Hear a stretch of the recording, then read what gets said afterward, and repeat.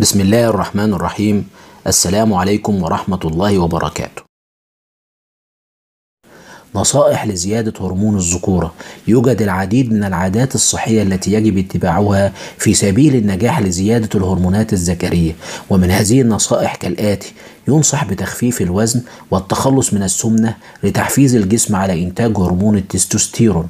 ممارسة التمارين الرياضية للعمل على تنشيط الدورة الدموية بانتظام تناول الأطعمة الصحية التي تحتوي على البروتينات والزنك وفيتامين ألف والابتعاد عن الأغذية التي تحتوي على دهون. طرق زيادة هرمون الذكورة بالأعشاب. زيادة هرمون الذكورة بالأعشاب الطبية تجنبا للآثار السلبية التي تسببها بعض العقاقير والأدوية. القرفة. القرفة من الأعشاب المنشطة للدورة الدموية وتعمل على زيادة القوة الجنسية وذلك من خلال تناول شراب القرفة. حبة البركة. تعمل حبة البركة على زيادة القدرة والرغبة الجنسية وذلك بخلط مطحون حبة البركة مع اللبان الذكر وزيت الزيتون ويتم تناولها لعدة أيام. الزنجبيل الأخضر. من الأعشاب المشهورة في تنشيط الدورة الدموية ويساعد على الانتصاب لأنه يحتوي على زيوت طيارة فعالة ويمكن تناوله من خلال مشروب الزنجبيل. النعناع والزعتر وجوزة الطيب والزعفران والجينسينج هي أعشاب مفيدة لتنشيط هرمون الذكورة طبيعيا من خلال تناول مشروب هذه الأعشاب. طرق زيادة هرمون الذكورة بالنباتات. يجهل العديد من الأشخاص فوائد بعض أنواع الخضروات والفواكه والبقوليات في زيادة هرمون الذكورة حيث يتناولها دون أن يعلم أهميتها ومن أشهرها الآتي.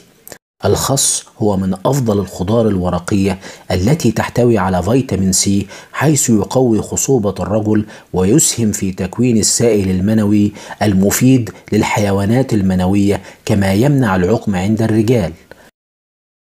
الحمص يحتوي الحمص على عناصر البوتاسيوم والحديد والفوسفور والتي تنشط من عمل هرمون الذكورة ويمكن تناوله إما طازجا أو مسلوقا أو مطبوخا أو محمصا. التوت يساهم التوت في رفع الشهوة الجنسية وذلك من خلال تأثيره الواضح على تنشيط الهرمون الذكري. الكرفس يساهم الكرفس في زيادة إفراز هرمون الذكورة بكمية أكبر من الموجودة في الجسم. الجرجير والبقدونس هي من النباتات المفيدة في رفع خصوبة الرجال.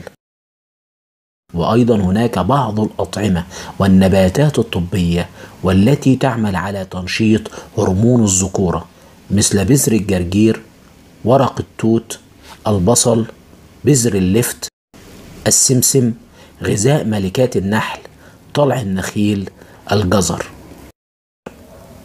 مع تمنياتي لكم بدوام الصحة والعافية.